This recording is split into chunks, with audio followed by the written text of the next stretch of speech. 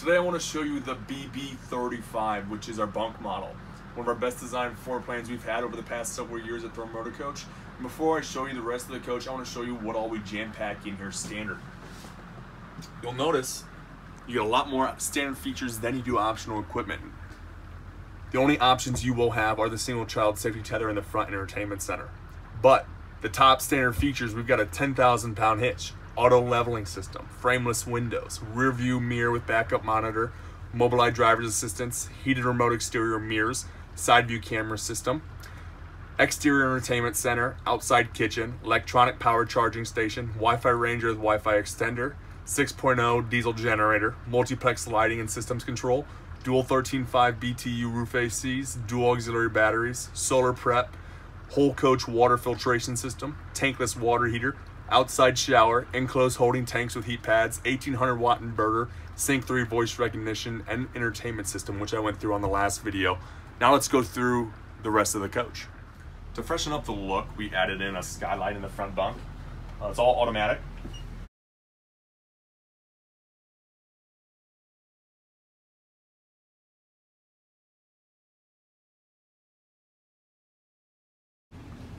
Take a look over your living area. You get a lot of space. You get the large booth dinette, and you get the opposing sleeper sofa, and it's all leather.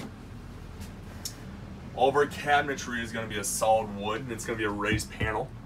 And that solid wood is going to be up throughout the entire coach. But coming back over to your kitchen, you get solid surface countertops, two stainless steel bowl sinks, you get the retractable sprayer, stovetop's gonna have one induction burner with two gas burners and a full tile backsplash. The convection microwave is standard, as is your stainless steel residential refrigerator. And this does have the ice maker in the freezer as well. I'm about 5'11".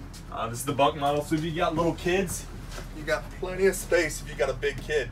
So I fit perfectly and I still have room. You get TVs in both bunks. Actual wooden pocket door separating the front from the back. Um, take a look at the bedroom. One thing that stands out is you get a very large bed. It's a true king size bed, and you do get nightstands on both sides, which do have more storage underneath. Electrical outlets, charging stations, everything you need. Um, but let's count the cabinet spaces. You got 1, 2, 3, 4, 5, 6, 7, 8, 9, 10, 11, 12, 13, 14, 15, 16, 17 areas where you can put clothing or other miscellaneous items. You also get a 32 inch TV, which has more storage behind it. But we'll squeeze around here and take a look inside your bathroom. And you'll really like what you have to see. Large shower.